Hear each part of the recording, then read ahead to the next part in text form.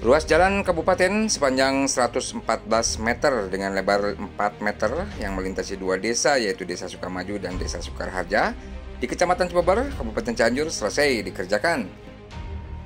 Jalan yang menghubungkan dua wilayah kecamatan antara lain Kecamatan Cibeber dengan Kecamatan Cilaku dilaksanakan selama tiga hari dengan dibiayai dari dana alokasi umum, anggaran pendapatan dan belanja daerah atau APBD Kabupaten Cianjur tahun anggaran 2023 sebesar 200 juta rupiah.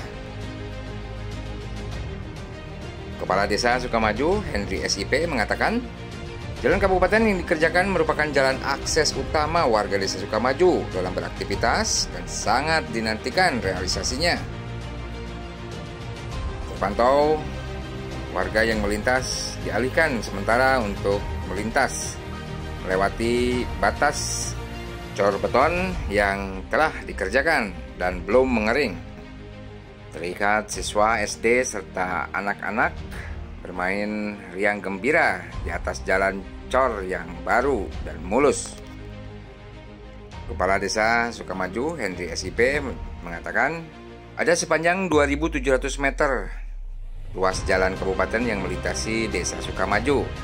700 meter di antaranya sudah terrealisasi terbetonisasi namun sekitar 2000 meter tersisa untuk dilaksanakan di 2024 nanti.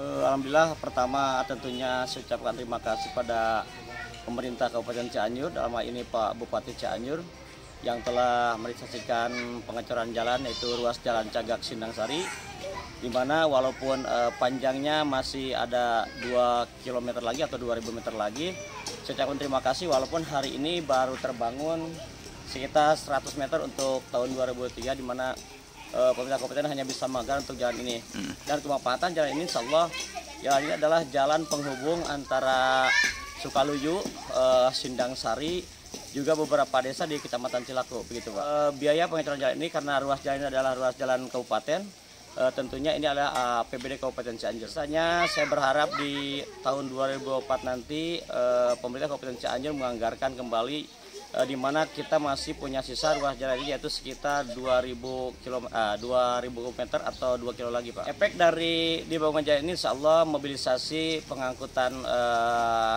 misalnya uh, hasil pertanian juga karena ini penghubung uh, jalan lintas di mana ini menghubungkan beberapa desa dan beberapa kecamatan uh, luas jalan inilah jual satu-satunya jalan alternatif untuk menghubung antar desa di luar kecamatan Cibeber. Dari Desa Sukamaju, Kecamatan Cibeber, Taufik Winata, Radar Cianjur, mengabarkan.